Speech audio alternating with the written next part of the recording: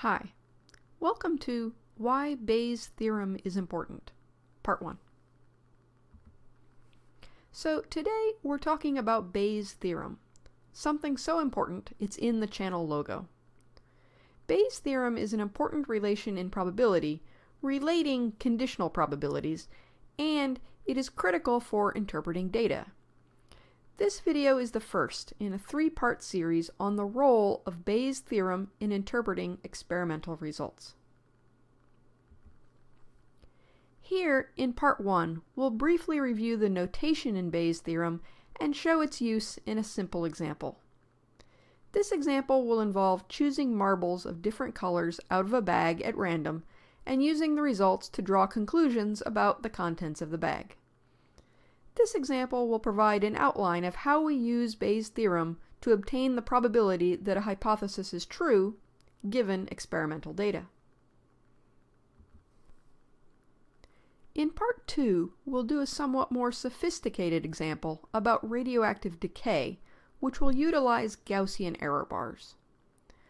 Both Part 1 and Part 2 will be warm-up exercises for understanding the role of Bayes' theorem in the interpretation of a more realistic measurement, which will be the goal of Part 3. If you're new to Bayes' theorem, you might want to watch the video Introduction to Bayes' theorem available on this channel. It's not strictly required in order to understand what's going on here, but it might make things a bit clearer. Okay, let's get started. So first, let's give Bayes' theorem and define our notation. So Bayes' theorem goes as follows. P of A given B equals P of B given A times P of A divided by P of B. So here, P of A is the probability of A, and P of B is the probability of B.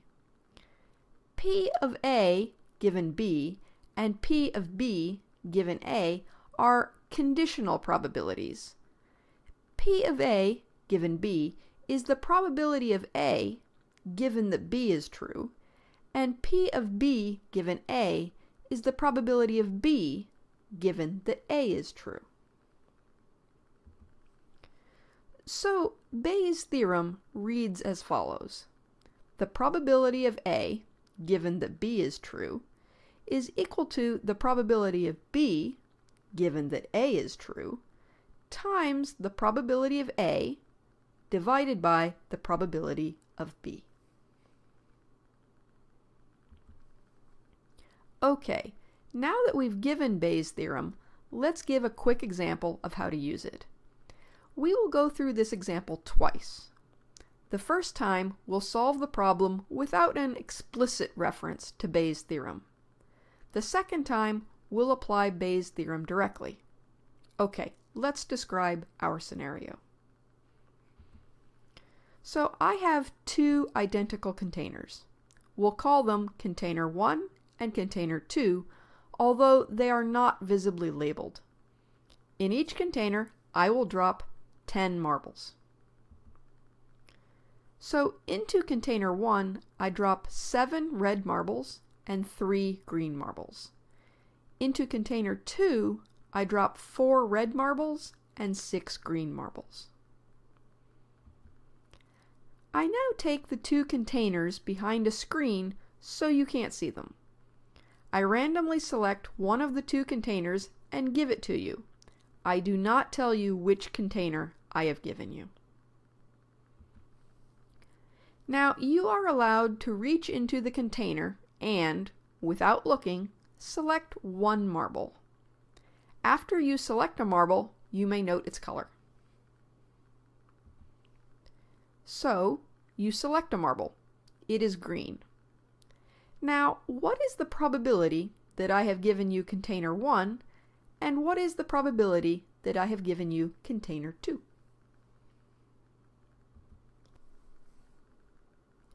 So here, I have given you container 1 and I have given you container 2 are hypotheses.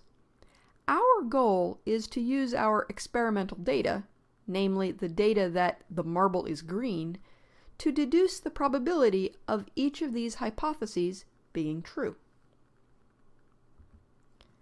To do this, let's imagine that we repeated this experiment many, many times.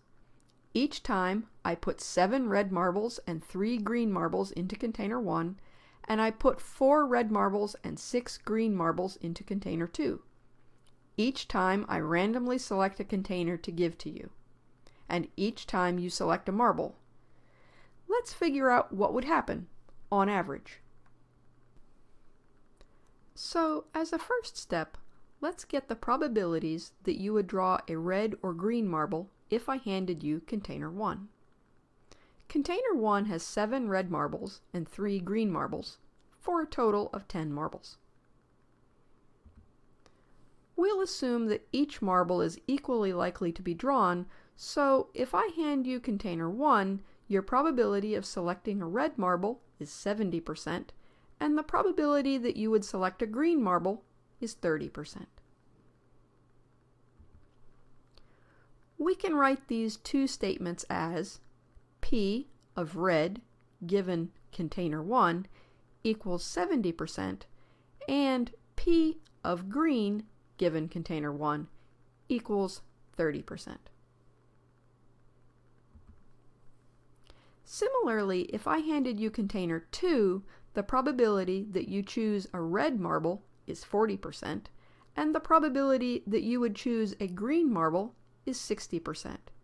So P of red given 2 is equal to 40%, and P of green given 2 is equal to 60%.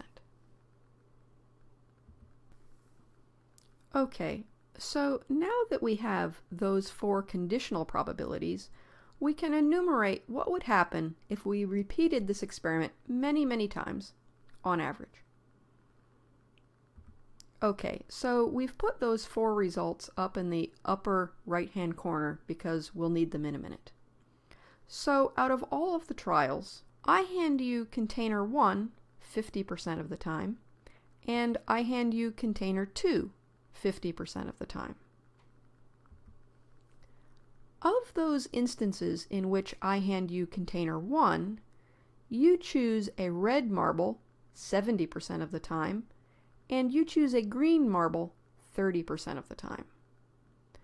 Out of those instances in which I hand you container 2, you choose a red marble 40% of the time and a green marble 60% of the time. So we get the following probabilities. 35% of the time, I hand you container 1 and you choose a red marble. 15% of the time, I hand you container 1 and you choose a green marble. 20% of the time, I hand you container 2 and you choose a red marble. And 30% of the time, I hand you container 2 and you choose a green marble. So now we've worked out the probabilities for all of the possible ways that I could hand you a container and you could choose a marble. But what we want are the probabilities that I handed you container 1 or container 2 given that you chose a green marble. So we want to look at only the possible ways that you could have chosen a green marble. So there are two ways that you could have chosen a green marble. I could have handed you container 1 and you chose a green marble. That has a probability of 15%. Or I could have handed you container 2 and you could have chosen a green marble. That has a probability of 30%. Out of a large number of trials, on average, you would be handed container 1 and choose a green marble 15% of the time, and be handed container 2 and choose a green marble 30% of the time. So you would choose a green marble in a total of 45%, that's 15% plus 30% of trials. In the rest of the trials, you would choose a red marble out of one of the containers. So, out of the 45% of trials where you chose a green marble, you chose it out of container 1 in 15% of the trials, and out of container 2 in 30% of the trials.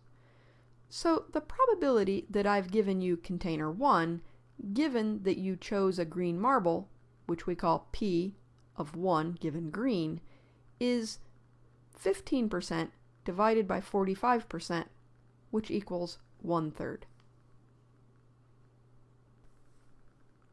Similarly, the probability that I've given you container 2, given that you chose a green marble, so that's P of 2 given green, is 30% divided by 45%, which equals 2 thirds.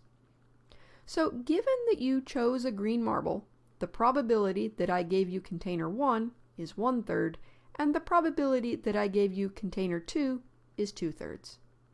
This is the result that we want. So now let's solve the same problem using Bayes' theorem. Let's get the probability that I gave you container 1 given that you chose a green marble, so P of 1 given green.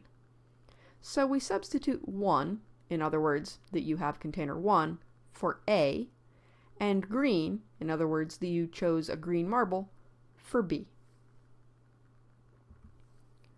So Bayes' theorem, P of A given B, equals P of B given A, times P of A divided by P of B, with 1 substituted for A and green substituted for B, gives P of 1 given green equals P of green given 1 times the probability of 1 divided by the probability of green.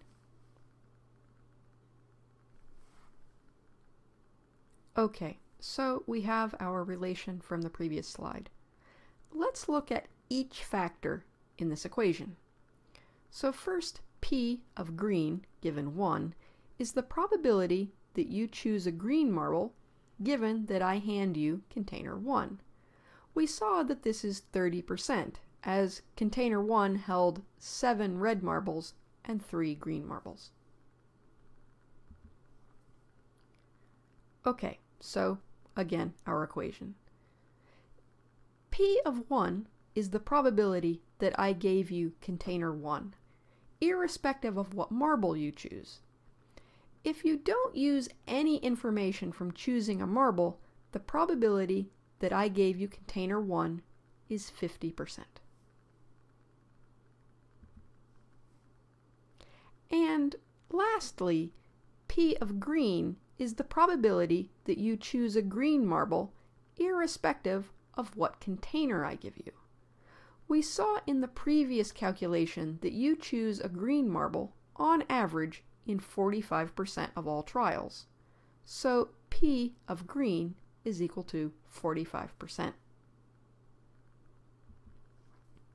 So we have P of green given 1 equals 30%, P of 1 equals 50%, and P of green equals 45%. Thus we get that P of 1 given green equals 30% times 50% divided by 45%, and that equals one third.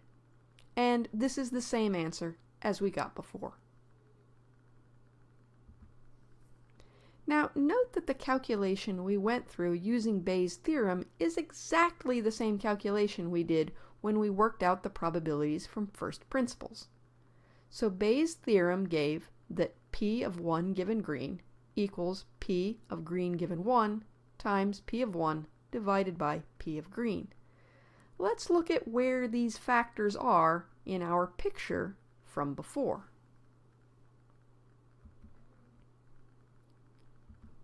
So P of 1 was the probability that I hand you container 1. That was 50%. P of green, given 1, was the 30% probability that you choose a green marble given that I handed you container 1. And lastly, we took the 15% and the 30% at the bottom of the page and added those together. Those summed to P of green. So Bayes' theorem just reflects the picture we drew the first time around. By the way, we could also get P of 2 given green. So Bayes' theorem becomes P of 2 given green equals P of green given 2 times P of 2 divided by P of green. We won't work it through here, but it gives the same result we found before. P of 2 given green equals 2 thirds. Okay, so let's summarize. Here we have gone through a simple example of how we can use experimental data, here the color of a marble chosen from a container, to assign probabilities to hypotheses, here the hypotheses that I have given you container 1 or container 2. We calculated these probabilities from first principles and from Bayes' theorem and saw that we got the same answer. We also saw that Bayes' theorem just encoded the calculation that we did the first time around. Now, this exercise is just a schematic for how we can use experimental data to assign probabilities to hypotheses. In part two, we will move a bit closer to a realistic scenario by using an example which involves Gaussian error bars. And finally, in part three, we'll discuss what conclusions we can draw about the true values of physical parameters from measurements and their uncertainties.